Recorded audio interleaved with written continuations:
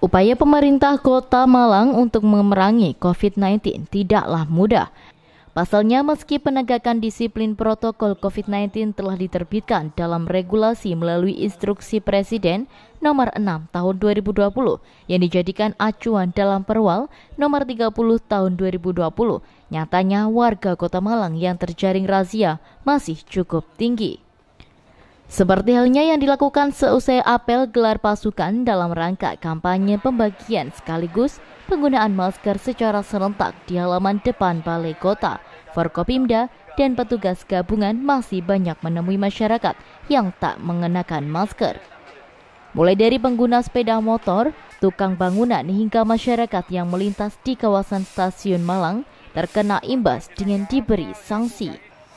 Kebanyakan dari mereka berdalih lupa untuk mengenakan masker, padahal mereka juga selalu membawanya.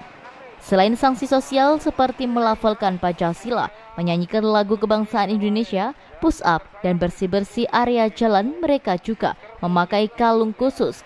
Kalung bertuliskan, saya melanggar tidak bermasker, jangan seperti saya.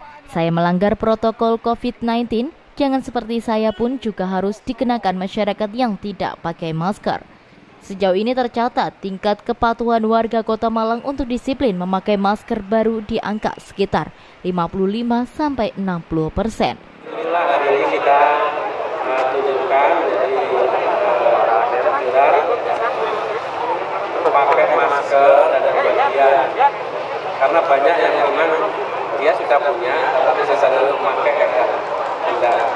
Jadi kita saat ini sama-sama kita viralkan kita sudah wajib pakai masker, kita punya impresnya, kita punya perwal, kita perlu karena satu alat bukti bahwa uh, orang ini tidak minimal bisa mengarai dengan pakai masker. Lebih jauh, Kapolres Malang Kota Kombes Pol Leonardus Harapan Tua Simarmata Permata menambahkan, penegakan hukum dalam mendisiplinkan masyarakat Kota Malang terus dilakukan bersama tim operasi gabungan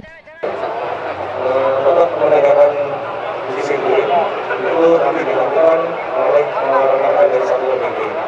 Kita dari Polri dan TNI itu nanti bersama-sama untuk membela.